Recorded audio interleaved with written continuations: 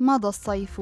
ومضت معه الموجة الحارة الرهيبة التي ضربت البلاد وكانت في أشدها هذا العام. لكن هذا الصيف ودرجات الحرارة العالية لم تمضي مرور الكرام بل خلفت العديد من الآثار البيئية الضارة. ولم يسلم نهر الأمازون من ذلك الجفاف والذي ما زال موجودا حتى الآن ولم ينتهي بانتهاء فصل الصيف. فموجة الجفاف الحادة التي ضربت منطقة الأمازون في البرازيل أدت إلى انحسار انحسار المياه لمستويات منخفضة جدا في الأنهار ووصلت إلى ما لم تصل إليه من مستوى من قبل. لكن عند انخفاض منسوبه بهذا الشكل كشف مفاجأة من نوع خاص أذهلت الباحثين.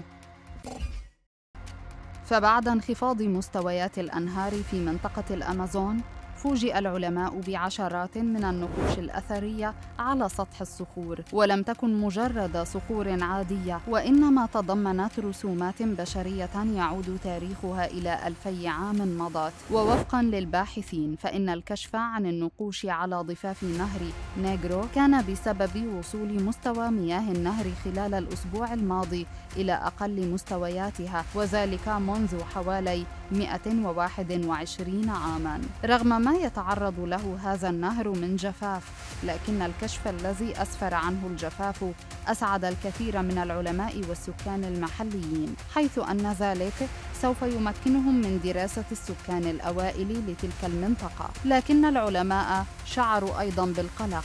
نتيجة تأثير انخفاض مياه الأنهار المتسارع بهذا الشكل وتخوفوا من تأثير ذلك على سير الحياة في المنطقة المحيطة وتساءل العلماء ما الذي يمكن أن يحدث في أقل من خمسين عاماً إذا كانت هذه فقط البداية وهل ستجف الأنهار الموجودة في منطقة الأمازون تماماً؟ ما زالت البرازيل رغم كوننا انتقلنا إلى فصل الخريف تعاني من موجة الجفاف الشديدة والتي تؤثر على انتقال سكان المناطق المحيطة بالأنهار والقرى المجاورة لها. فهم يعتمدون في تنقلاتهم وتوفير احتياجاتهم على هذه الأنهار حيث ارتفعت درجات الحرارة الشديدة إلى مستوى وصل إلى سبع درجات أعلى من معدلاتها السابقة وأثر ذلك على نفوق آلاف الأسماك وأصبحت الدلافين مهددة بالانقراض في منطقة الأمازون. ما تسبب في زيادة الأوضاع سوءا ما تعرضت له البلاد هذا الصيف.